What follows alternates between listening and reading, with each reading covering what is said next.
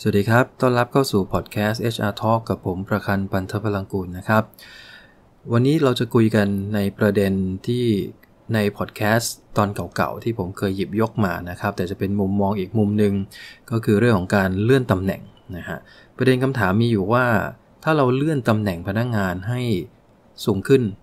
แล้วทำงานยังคงทำงานเหมือนเดิม อันนี้ใช่เรียกว่าการเลื่อนตำแหน่งหรือเปล่า อันนี้ก็เป็นคำถามที่มีผู้บริหารเขาก็ฝากมานะครับ รวมถึง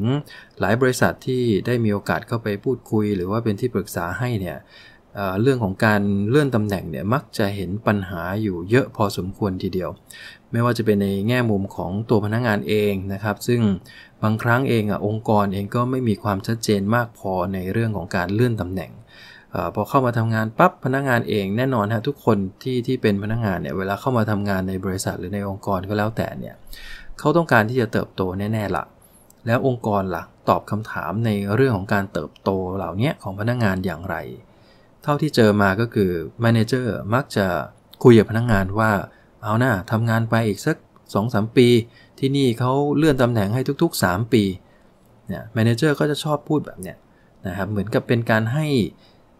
แนวทางจริงๆ แล้วมันเหมือนสัญญาเลยนะครับ พนักงานเองพอได้ยินอย่างนั้นปั๊บก็เข้าใจเอาเองกันไปเลยว่าอ๋อนี่คือสิ่งที่ผู้จัดการของเราสัญญากับเราเรียบร้อยแล้วว่าอีก 3 ปีข้างหน้าเราจะได้รับการเลื่อนตำแหน่ง ท่านผู้ฟังคิดยังไงฮะ พอครบ 3 ปี manager ลืมฮะเงียบๆไปอะไรไปเสร็จแล้วพนักงานก็เดินไปทวงว่าพี่ไหนบอกว่าครบ 3 ปีที่นี่จะเลื่อนตำแหน่งให้ไง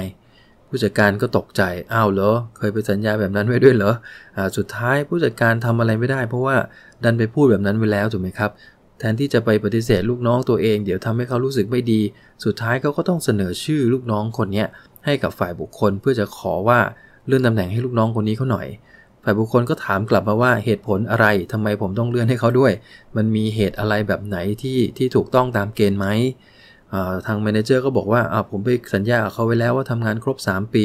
ก็จะได้รับการเลื่อน ตัว HR เองก็ตอบกลับมาว่าจริง ๆ มันมีเกณฑ์อยู่นะฮะไม่ว่าจะเป็นเรื่องของผลงาน ถ้า A ติดกัน B ติดกันอะไรก็แล้วแต่เนี่ยระยะเวลามันก็จะเร็วขึ้นถ้าผลงานมันดีถูกไหมฮะแต่ถ้าผลงานออกมาอยู่ในระดับปานกลางภายใน 3 ปีอาจจะเลื่อนไม่ได้นะ จะต้องไปเป็น 4-5 ปี อีกอันหนึ่งก็คือ competency ครับ พฤติกรรมนะฮะความรู้ทักษะที่ต้องเพิ่มขึ้นเนี่ย manager ครับ ท่านพิสูจน์ได้แล้วหรือเปล่าว่าลูกน้องของท่านเนี่ยมีความรู้ทักษะที่เพิ่มขึ้นนะพอโดนคำถามนี้จากทาง HR เข้าไปนะ manager ก็นั่งมึนอยู่แป๊บหนึ่ง แล้วสิ่งที่ manager ทำก็คือ พยายามที่จะไปหาข้อมูลเท่าที่นึกออก บางอย่างนึกไม่ออกก็ make อะฮะว่าอ๋อลูกน้องคนนี้เก่งตรงนั้น เก่งตรงนี้มีดีตรงนั้นดีตรงนี้เพื่อพยายามที่จะบอกกับฝ่ายบุคคลว่าน้องคนนี้พร้อมที่จะเลื่อนตำแหน่งแล้วนะนะครับ และที่สำคัญคือ manager คนนี้สำหรับบางองค์กรถ้าเขามีอิทธิพลมากพอ เขาอาจจะกระโดดข้ามหลักเกณฑ์ หลักเกณฑ์ของทาง HR แล้วก็วิ่งเข้าหาผู้บริหารระดับสูง แล้วก็บอกว่าผมขออนุมัติได้ไหมเลื่อนคนนี้ผู้บริหารจะถามว่าเอาทำไมใช่เหตุผลอะไรเขาอาจจะว่านี่ก็คือคนเก่งนะ ผมอยากเก็บไว้ถ้าไม่เลื่อนปีนี้เดี๋ยวเขาลาออกแน่เลยเนี่ยมันก็จะวนอยู่อย่างเงี้ยนะสุดท้ายถ้าสมมติผู้บริหารระดับสูงเคาะว่าให้เลื่อนปับ๊บอะถ้า HR ทำอะไรไม่ได้คำสั่งจากเบื้องบนลงมา นะอนุมัติเลื่อนเลื่อนปั๊บขึ้นมา สิ่งที่เกิดขึ้นจริง ๆ คือพนักงานคนนั้นได้รับการเลื่อนตำแหน่งขึ้นไปจริง ๆ จากอาจจะเรียกว่าตำแหน่งเจ้าหน้าที่ก็กลายเป็นเจ้าหน้าที่อาวุโสคำถามคือจากเจ้าหน้าที่ขึ้นเป็นเจ้าหน้าที่อาวุโสนั้นเนี่ยมีอะไรที่เปลี่ยนแปลงไปบ้าง นอกจากอายุตัวอายุงานกับชื่อตำแหน่งคำถามคืออคำตอบก็คือไม่มีนะฮะไม่มีอะไรเปลี่ยนเลยนะครับ ก็คือทำงานยังไง JD job description เดิมเป็นยังไง เลื่อนไปเป็นอาวุโสแล้วก็คงยังเป็นงานเดิมทุกอย่าง ไม่ได้มีขอบเขตอำนาจการตัดสินใจไม่ได้ความลึกไม่ได้มีตัวงานอะไรที่มอบหมายเป็นพิเศษว่าเนื่องจากคุณเป็นอาวุโสแล้ว คุณจะต้องดูแลอะไรเพิ่มเติม สุดท้ายแล้วสิ่งที่เกิดขึ้นก็คือ พนักงงานได้รับเงินเดือนเพิ่ม ได้รับตำแหน่งเพิ่ม แต่องค์กรได้รับอะไรครับ เหมือนเดิมนะฮะดีไม่ดีผลงานจะแย่ลงด้วยซ้ำไป นะอันนี้อันนี้คือไม่แน่นะฮะอาจจะดีขึ้นก็ได้หรืออาจจะแย่ลงก็ได้แต่สิ่งที่เกิดขึ้นคือเราไม่ได้รับ value added จากการเลื่อนตำแหน่งครั้งนี้ ไม่ทราบท่านผู้ฟังท่านไหนที่องค์กรของท่านมีลักษณะแบบนี้บ้างไหม ก็คือการเลื่อนตำแหน่งเนี่ยจริง ๆ แล้วถ้าดูดูโดยหลักโดยหลักการนะครับ การจะเลื่อนตำแหน่งให้พนักงานคนไหนเนี่ยนั่นแปลว่าเขาต้องพร้อมที่จะขึ้นไปรับหน้าที่และความรับผิดชอบที่สูงขึ้น การเป็นพนักงานอาวุโส ไม่ได้แปลว่าแก่ อย่างเดียว แต่ต้องแปลว่าด้วยประสบการณ์ที่ผ่านมาด้วยผลงานที่ผ่านมา เขาสามารถที่จะสร้างมูลค่าเพิ่มในงานของเขาให้ดีขึ้น เขาสามารถที่จะดูแลงานบางส่วนของหัวหน้าเขานะฮะในมุมบางมุม ซึ่งหัวหน้าอาจจะต้องมีการออกแบบนะฮะว่างานอาวุโสจะต้องมาดูตัวเลขบางอย่างในมุมของแมเนเจอร์ช่วยหน่อยนะในมุมหนึ่งนะเพื่ออะไรเพื่อเตรียมความพร้อมในในฐานะที่เขาเป็นพนักอาวุโสเนี่ยเตรียมความพร้อมให้เขาเป็น manager ในอนาคตได้ แต่ไม่ใช่เลื่อนไปแล้วเหมือนเดิมนะครับเพราะฉะนั้นการเลื่อนตำแหน่งในในหลักการที่ถูกต้องก็คือ เราจะต้องมีการกำหนดหน้าที่และความรับผิดชอบ ในแต่ละตำแหน่งที่ขยับขึ้นนะให้ชัดมากพอนะฮะ เช่น บางองค์กรที่ผมเห็นว่ามีความชัดเจนมาก ๆ เลยนะครับ ก็คือระดับเจ้าหน้าที่โอเคทำงานตาม job description พอเป็นระดับเจ้าหน้าที่อาวุโส เขาจะเพิ่มงานอีกหน้าหนึ่งเข้ามา ว่าคุณจะต้องเรียนรู้หรือไม่ก็ต้อง ระหว่างเป็นเจ้าหน้าที่เนี่ยคุณจะต้องทำงานอีกมุมหนึ่งได้ เอาตัวอย่างเช่นในในงาน HR นะครับ ถ้าเจ้าหน้าที่คนหนึ่งทำเรื่องของสรรหาคัดเลือกอยู่ ถ้าเขาต้องการจะขยับเป็น HR อาวุโสเนี่ยเขาจะต้องเริ่มเพิ่มการศึกษาในงาน HR อีกด้านหนึ่งเข้าไป เช่น เขาอาจจะต้องรับผิดชอบ แล้วก็ศึกษาในเรื่องของการประเมินผลงานของบริษัทเพิ่มเติม เพราะว่าฟังก์ชันเขา recruitment and performance appraisal อยู่ด้วยกันสมมตินะครับ หรือเป็นเจ้าหน้าที่ training อาจจะต้องเพิ่มเติมในเรื่องของในอีกมุมหนึ่งของ HR เช่น อาจจะต้องเพิ่มในแง่ของการบริหารค่าจ้างเงินเดือน หรือเพิ่มในเรื่องของอการพัฒนาลูกน้องในมุม career path เข้าไป เพื่อให้ความรับผิดชอบเขาสูงขึ้นนะพร้อมที่จะเติบใหญ่ขึ้นไป คือไม่ใช่ขยับขึ้นมาแล้วเหมือนเดิมดังนั้นผมคิดว่ามันเป็นการแค่เปลี่ยนชื่อตำแหน่งให้สูงขึ้น ไม่ใช่การเลื่อนตำแหน่งถูกไหมฮะ บางองค์กรหนักไปกว่านี้อีกนะครับ ก็คือจากพนักงานอาวุโสขยับขึ้นเป็น supervisor หรือเป็นเราอาจจะเรียกว่าเซ c ชั o นชิพหัวหน้าหน่วยหรือหัวหน้าแผนกนะฮะเป็นเป็นระดับเรียกว่าระดับต้นนะครับ หัวหน้างานระดับต้น พอขึ้นไปแล้วเนี่ยแทนที่จะมีลูกน้องกลับกลายเป็นว่าเป็น supervisor ที่ไม่มีลูกน้อง หรือบางแห่งก็เป็นเซ c ชั o นชิฟที่ไม่มีลูกน้องเช่นกันคำถามก็คือแล้วมันมันใช่ไหม มันใช่คำว่า supervisor มันใช่ section chief หรือเปล่า พอเลื่อนขึ้นไปแล้วแทนที่จะต้องมีงานที่ต้องให้เขาดูแลกลับกลายเป็นไม่มีอะไรเลย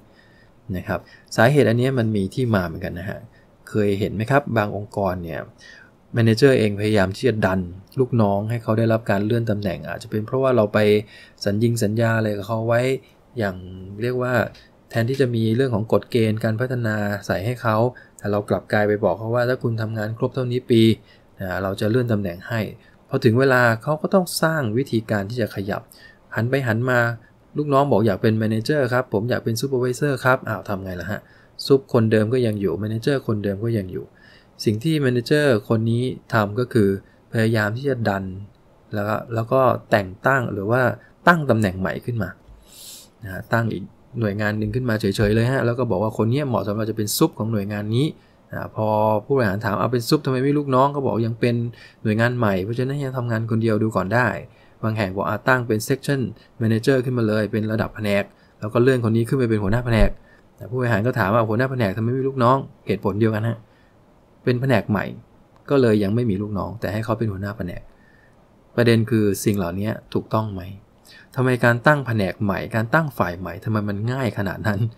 องค์กรที่เขามีระบบดีๆนะครับ การที่จะเพิ่มหน่วยงานอีกหน่วยหนึ่งติ่งออกมาจาก organization chart เนี่ยไม่ใช่เรื่องง่ายเลยนะครับ บางแห่งนี่ต้องเข้าบอร์ดเลยนะฮะว่าด้วยภารกิจหน้าที่ต่างๆ นานา มันมากพอไหมที่จะตั้งขึ้นมาเป็นอีกหนึ่งหน่วยงาน ในระดับแผนกหรือระดับฝ่ายก็แล้วแต่ บางแห่งมีการกำหนดไว้เลย ถ้าภารกิจ คือถ้าสมมุติว่าขอบเขตของงานใหญ่ขึ้นกว้างขึ้นกว่าเดิม มีภาระหน้าที่ความรับผิดชอบที่มีผลต่อองค์กรมากขึ้นกว่าเดิม แล้วก็เข้าไปคุยที่ประชุมบอร์ดแล้วบอร์ดเห็นว่าควรจะตั้งขึ้นเป็นหน่วยงานใหม่ เขาถึงจะมีหน่วยงานใหม่เกิดขึ้นนะครับ คือไม่ใช่เอะก็สามารถสร้างได้แล้วก็ดันลูกน้องตัวเองขึ้นไปเป็นผู้จัดการได้ บางองค์กรนี่ไม่มีพนักงานเลยนะฮะมีแต่ผู้จัดการ อันนี้พูดจริงนะฮะ เคยเห็นมาแล้วนะครับในบางองค์กร ซึ่งพนักงงานองค์กรนี้อาจจะเติบเปิดมาประมาณสัก 20 กว่าปีฮะพนักงงานก็ส่วนใหญ่ก็ไม่ค่อยได้ลาออกเท่าไหร่เนี่ยเข้าไปคุยกับผู้บริหารปั๊บผู้บริหารเอาชื่อตำแหน่งให้ดู ทุกคนคือผู้จัดการหมดเลยไม่มี officer เลย ผมก็ถามว่านี่ผู้จัดการหมดทั้งแผงเลยเหรอพนักงานทั้ง 200 กว่าคนนะมีประมาณ 400 กว่าคนเนี่ยนะครับประมาณ 200 กว่าถึง 300 คนที่เป็นผู้จัดการหมดแล้ว นอกนั้นที่เหลือคือระดับบนเลยฮะ director เอ่ยอะไรเอ่ยซึ่งไม่มีเจ้าหน้าที่เลยมีก็มีประปรายมากๆ ก็เลยถามเขาว่าผู้จัดการตัวจริงหรือตัวปลอมแต่เขาบอกว่าผู้จัดการบางคนเป็นผู้จัดการแบบมีลูกน้อง เราถือเป็นผู้จัดการตัวจริงนะ ผู้จัดการบางคนไม่มีลูกน้อง เราก็เรียกเขาผู้จัดการ ผมก็เลยบอกโอ้ถ้าอย่างนั้นนี่อาจจะมีปัญหาตามมาเยอะนะครับแทนที่จะให้เขาเดินในสายอาชีพที่ถูกต้องเป็น specialist ไปนะแต่เขาก็ไต่ขึ้นเป็นผู้จัดการ อเคไม่เป็นไร แต่กลับมาที่ประเด็นนี้หมายว่า การเลื่อนตำแหน่งเนี่ยจริง ๆ แล้วมันควรจะเป็นการเพิ่มเติมภาระหน้าที่และความรับผิดชอบให้กับพนักงานคนนั้นให้สูงขึ้นนะครับ เพราะอะไรครับ เพราะองค์กรมีการให้เงินขึ้น กรณีเลื่อนตำแหน่ง เพราะตำแหน่งสูงขึ้น เราก็เพิ่มเงินเดือนให้ด้วยภาระหน้าที่และความรับผิดชอบที่สูงขึ้น แต่ถ้าเลื่อนไปแล้วไม่ได้มีภาระหน้าที่ความรับผิดชอบสูงขึ้น ผมว่าก็ไม่ควรจะขึ้นเงินเดือนเหมือนกันนะฮะ นั่นแปลว่าถ้าเราอยากจะขยับเงินด้วย องค์กรเองอาจจะต้องร่วมกับ HR นะครับในการสร้างขอบเขตภาระหน้าที่ให้กับคนกลุ่มนี้ให้กับตำแหน่งเหล่านี้ให้มันชัดเจน ว่าการขยับขึ้นมาเขาต้องรับผิดชอบอะไรเพิ่มขึ้นนะมิฉะนั้นแล้วสิ่งที่มันจะตามมาก็คืออพนักงงานจะเกิดความเคยชินว่าการเลื่อนตำแหน่งมันคือการทำงานครบตามปีที่กำหนด ผลงานไม่เป็นไร การฝึกอบรมไม่ต้องสนใจนะครับ พฤติกรรมบางอย่างก็ไม่ต้องสอนแค่ขอเพียงอดทน แล้วทำงานให้ครบตามจำนวนปี เดี๋ยวตำแหน่งมาเอง ถ้าเป็นอย่างนี้ไปเรื่อยๆพอถึงเวลาถ้าเด็กคนนี้จำเป็นที่จะต้องเป็นแมเนเจอร์ตัวจริงผมถามหน่อยนะครับว่าเขาพร้อมไหมที่จะรับผิดชอบสิ่งเหล่านี้ถ้าเราไม่มีการเตรียม ความพร้อมให้เขารู้จักที่จะรับผิดชอบเพิ่มขึ้น ไปตามตำแหน่งที่ค่อยๆสูงขึ้น นะครับนั่นก็อยากจะเป็นนี่ก็เป็นประเด็นที่อยากจะฝากไว้ในวันนี้นะครับว่าสุดท้ายแล้วการเลื่อนตำแหน่งท่านคงจะต้องมีการออกแบบนะครับภาระหน้าที่ของรับผิดชอบให้ชัดเจน พร้อมทั้งกำหนดเกณฑ์ในการเลื่อนตำแหน่งให้ชัด ซึ่งถ้าเรามาทบทวนเกณฑ์กันสั้นๆ ก็คือ 1 ผลงานในอดีตที่ผ่านมาในตำแหน่งล่าสุดนะฮะในอดีตที่ผ่านมาถ้ายิ่งผลงานดี เช่น A ติดกัน อาจจะ 2 ปีได้มีโอกาสเลื่อนละ นะแต่ก็ต้องมี competency หรือความรู้ทักษะพฤติกรรมบางอย่างที่ต้องเพิ่มขึ้นด้วย ถึงจะเป็นตัวที่เรียกว่าสอดรับซึ่งกันและกัน บางแห่งนี่หนักกว่านั้นเองนะฮะ มีเกณฑ์ potential หรือเกณฑ์ศักยภาพด้วย ว่าอาจจะมี manager หลาย ๆ คนมาช่วยกันประเมินเด็กคนนี้ว่าเขาพร้อมที่จะโตไปเป็น manager ในอนาคตไหมศักยภาพพอไหมในการที่จะนำพาลูกน้องนำพาหน่วยงานไปสู่เป้าหมายจนได้ นี่คือเกณฑ์หลักๆ ในการเลื่อนตำแหน่งนะครับ ผลงาน competency และ potential ก็อย่าให้การเลื่อนตำแหน่งขององค์กรท่านเป็นแค่เพียง การทำงานครบปีแล้วเลื่อนขึ้นไปเรื่อยๆนะครับ เพราะผมเชื่อว่าถ้าทำอย่างนี้สักพักหนึ่ง MD จะเต็มบริษัทเหมือนกันนะครับ ก็อันนี้พูดเป็นประชดประชันเล็กน้อยนะครับสำหรับวันนี้ก็ฝากประเด็นเรื่องของการเลื่อนตำแหน่งไว้ประมาณนี้นะครับ ยังไงองค์กรเนี่ยมีโอกาสให้พนักงานอยู่แล้ว พนักงานเติบใหญ่ในองค์กรเนี่ยเป็นสิ่งที่ดีอยู่แล้ว แต่ทั้งคู่ก็คงจะต้องวินวินทั้งคู่ พนักงานก็ต้องวินในแง่ของการได้รับค่าจ้างที่สูงขึ้นนะองค์กรก็ต้องวินว่าเพิ่มค่าจ้างไปแล้ว พนักงานก็ต้องสร้าง value added ให้กับองค์กรที่มากขึ้นด้วยเช่นกันนะครับก็ฝากประเด็นวันไว้เท่านี้นะครับ พบกันใหม่ในครั้งหน้านะครับ ขอบคุณครับ สวัสดีครับ